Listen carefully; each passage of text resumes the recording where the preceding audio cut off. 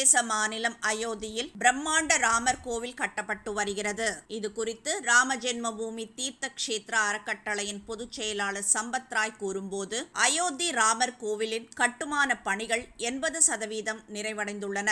அடுத்த ஆண்டு ஜனவரி பதினைந்தாம் தேதி முதல் இருபத்தி நான்காம் தேதிக்குள் ராமர் கோவில் குடமுழுக்கை நடத்த திட்டமிடப்பட்டுள்ளது. பிரதமர் மோடி உட்பட சுமார் பத்தாயிரம் பேர் இதில் பங்கேற்பார்கள் என்று தெரிவித்தார். இந்நிலையில் அயோத்தியில் ஹோட்டல்கள் விடுதிகளின் அனைத்து அறைகளும் இப்போதே முன்பதிவு செய்யப்பட்டுவிட்டன. இது குறித்து அயோத்தி ஹோட்டல் நிர்வாகிகள் கூறியதாவது ராமர் கோவில் குடமுழுக்கு எந்த நாளில் நடைபெறும் என்பது அதிகாரப்பூர்வமாக அறிவிக்கப்படவில்லை. எனினும் அடுத்த ஆண்டு ஜனவரி இருபது முதல் இருபத்தி நான்காம் தேதி வரையிலான நாட்களில் ஹோட்டல்கள் விடுதிகளில் தங்கும் அறைகள் முன்பதிவு செய்யப்பட்டுள்ளன. சுமார் ஐந்தாயிரம் அறைகள் உள்ளன. இதில் நான்காயிரம் அறைகள் இப்போதே முன்பதிவு செய்யப்பட்டு விட்டன அரசு அதிகாரிகளின் அறிவுறுத்தலின்படி சுமார் ஆயிரம் அறைகளை மட்டும் முக்கிய பிரமுகர்களுக்காக ஒதுக்கி வைத்துள்ளோம். இவ்வாறு ஹோட்டல் நிர்வாகிகள் கூறினர்.